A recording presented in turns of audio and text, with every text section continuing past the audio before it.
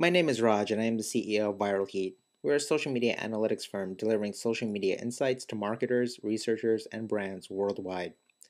Viralheat covers and delivers analytics across Twitter, viral video, the real time web, and Facebook.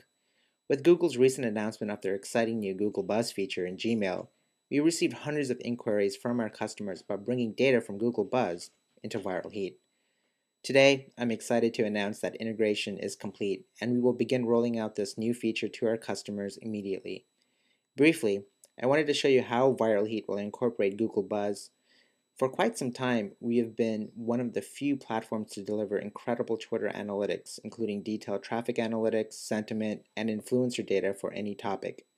In this example, I am looking at the microblogging dashboard for Starbucks that I've started tracking. ViralHeat incorporates Google Buzz data right alongside Twitter data, allowing users to obtain incredible analytics for their products or services. ViralHeat also delivers viral analytics that go beyond tag clouds, so you can understand what people are talking about, which allows you to optimize your spend and response to chatter online. If you scroll down below, we can peruse the list of raw mentions.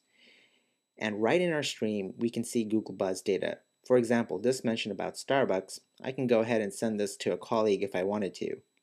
Can also go ahead and take a look at the post itself. There's the blog, interesting stuff. We can also go back and see what, this, what else this author has shared.